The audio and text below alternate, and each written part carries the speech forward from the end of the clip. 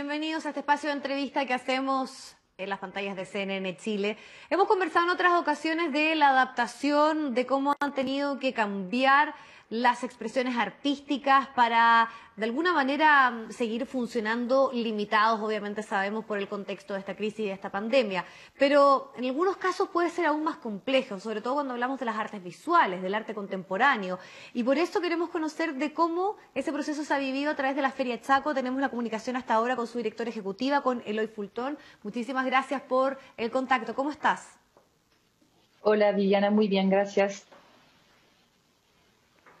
¿Qué tal? Bueno, ustedes ya habían tenido que posponer eh, la realización de la feria producto del estallido social, luego viene la pandemia y ahí se generó un espacio de harta reflexión y es bien interesante cómo lograron esta unión entre lo público, lo privado, el espacio abierto, lo que tiene que ver también con eh, los espacios de confinamiento y cómo en el fondo jugar con todo eso, que existe una convivencia, un cierto equilibrio. Y eso lo logran en una muestra en mujeres creadoras en esta exposición. Em, agorafilia. ¿Podrías contarnos cómo se dio todo este camino, que yo sé que ha sido largo, eh, para una muestra tan significativa y que además también tiene como protagonistas a mujeres artistas de nuestro país? Sí, Viviana. Bueno, sí, fue ciertamente como aparecieron momentos de duda, no sabíamos muy bien cómo reaccionar. Eh, Chaco es la Feria Internacional de Arte Contemporáneo, por lo tanto siempre seguimos todos los modelos internacionales y muy rápidamente nos dimos cuenta que había que tener una, una actitud y quizás para siempre híbrida frente a lo que está ocurriendo. Em, nos debíamos de realizar esta, esta muestra eh, que se llama Agorafilia, que es una muestra, como dices, en honor a las eh, mujeres creadores, son 13 artistas, artistas chilenas.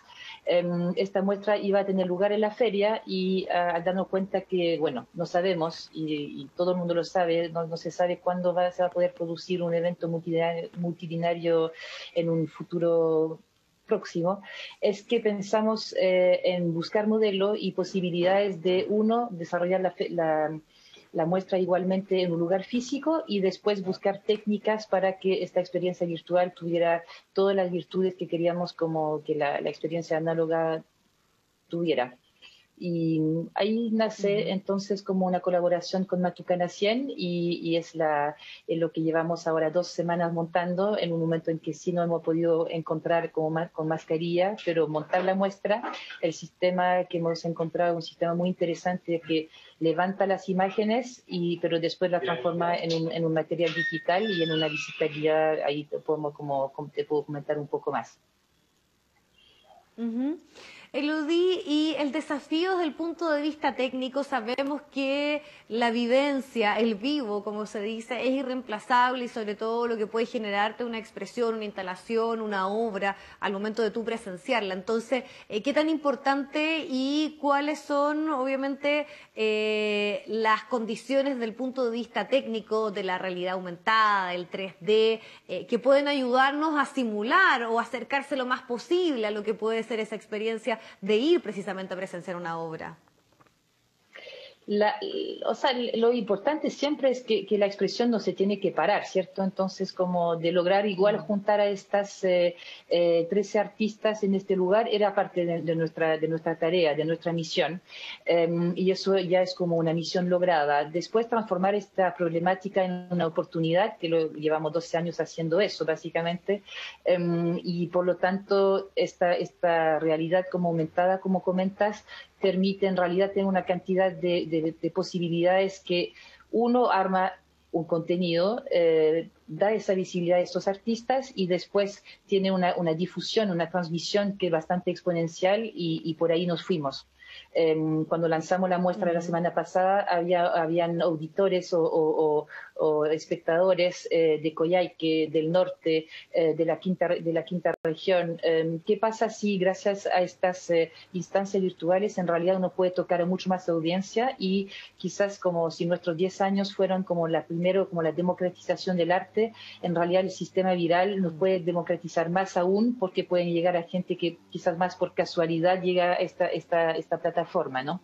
Entonces, ahí fue un lugar que nos pareció interesante indagar y, bueno, y tomar esta, la, instancia que todas las, las, problemáticas son espacios de creación y, por lo tanto no quedarse inerte, sino justamente mostrar que uno puede, existe un centro cultural que nos acogió, eh, hablamos de su política, son actos políticos, mm. creo yo, Viviana, que son eh, muy importantes de, no frenarse, sino como de seguir pensando que en realidad esos son, eh, son espacios de, digo yo, como de oportunidad.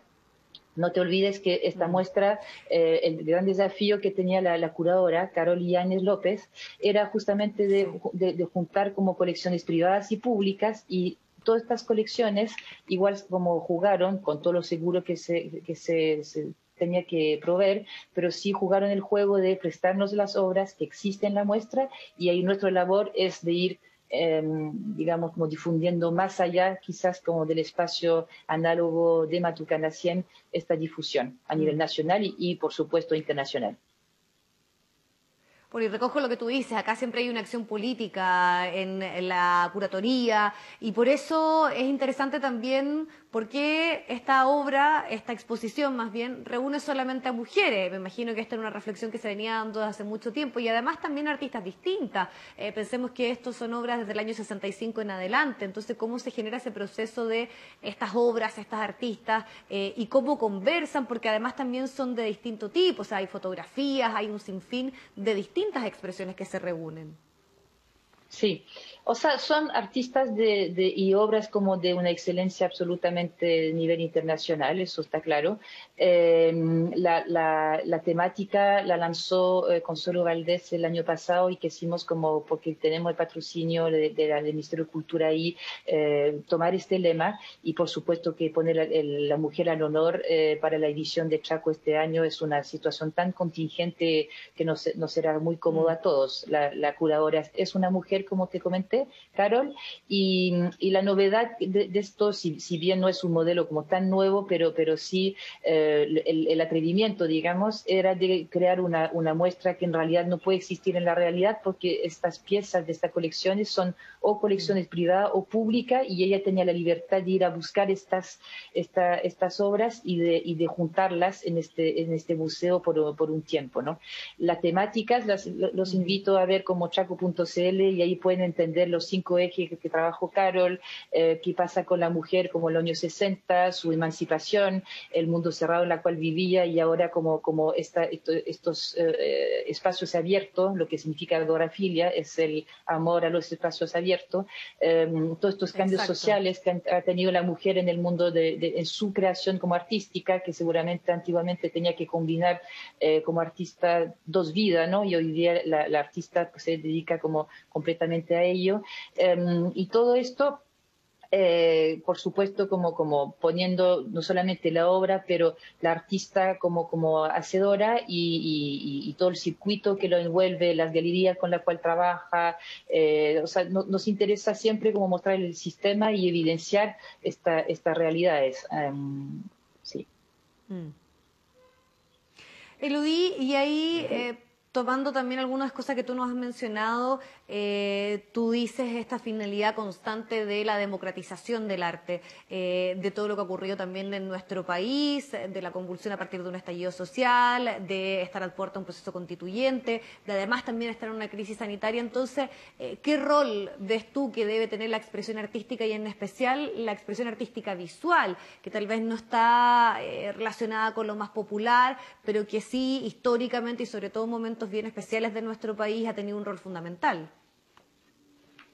Sí, sin duda, que, y, me imagino, eh, en este minuto los artistas están creando en, cuanto en torno a este tema, no me cae duda. Lo que yo creo que eh, toca de parte de las organizaciones es, como te comentaba, eh, no quedar pasmado, seguir como, como activando la, estas energías que sobre todo como, como demuestran un, camino evolutivo más que revolucionario, ¿no? Este, una evolución y, y, en el, y, la, y, la, y lo que nosotros como organización tenemos que seguir con nuestra, nuestra, nuestros, eh, nuestra visión, nuestra misión, que es como no solamente democratiza, pero también permite que exista palabras como el mercado sin que parece una, una, situación imposible, eh, que no haya una, una, resistencia, sino una, adaptación y que, y que por supuesto como eh, las artes visuales deben ser como un espacio como de inspiración y de reconstrucción, eh, que yo creo que son igualmente importantes que lo que significa reconstruir como socialmente, económicamente. La inspiración cultural es algo que nos mueve mucho y ha sido como parte de todas las conversaciones que Chaco y, su comité asesor hemos tenido en estos últimos meses. Sí, y ahí Elodie te quisiera preguntar, ya que es una plataforma de promoción, de difusión internacional, eh, Chaco, eh, ¿han visto un mayor interés a partir de la contingencia que está ocurriendo en nuestro país de poder eh, conocer en qué están los artistas chilenos? ¿Eso lo han podido notar ustedes? Eh, sí, o sea, como existe, por supuesto, todo un trabajo viral eh, que nos permite estar como relacionados. Eh, tenemos una plataforma Zoom en la cual organizamos conversatorio que también en un espacio, es un Zoom abierto no tiene clave, en la cual como cada uno puede venir a conversar y organizamos los conversatorios según eh, a veces como algunos artistas nos han pedido justamente esta plataforma para abordar temas y, y ahora vamos a seguir con los temas de, de, agorafilia en conjunto con la Fundación FABA, un programa de conversaciones de mujeres, es decir, lo, que hay que hacer creo yo como plataforma es de, entregar unos contenidos que, que sean suficientemente buenos para tanto atraer un público internacional y, ampliar el público nacional. Y digo nacional, no solamente el público de Santiago, pero tener una, una, idea de que sea como de, norte, de sur a norte o norte a sur eh, de Chile. En eso estaba trabajando de manera ardua también. Muy bien. Elodie, te queremos agradecer muchísimo el tiempo. Volvemos a decir que está la posibilidad de eh, acudir, podríamos decir, virtualmente a una exposición que ha sido montada físicamente ahí en Matucana 100 y que además también reúne a destacadas artistas nacionales. Así que al menos hasta octubre tenemos la posibilidad de conocer este gran trabajo que se ha hecho. Muchísimas gracias por esta conversación. Viviana, sí, muchas gracias. No te agradecí al principio, así que te agradezco ahora. Muchas gracias por la invitación y los invito a ver como en chaco.sl está esta viralización de la muestra y invito también tanto a los colegios, a los alumnos y, las familias a inscribirse a la visita guía virtuales que vamos a organizar en, octubre. Esta es una cita que espero nadie se pierda y ojalá pueda inspirar eh, esta metodología, pueda inspirar a otros espacios culturales, a eso es lo que hemos querido hacer también con Matucana 100 como lanzarnos a la piscina y que haya como mucho más contenido de ese tipo que se desarrolle en, las semanas que vienen. Perfecto, muchísimas gracias Eloy, que estés muy bien. Ok, chao.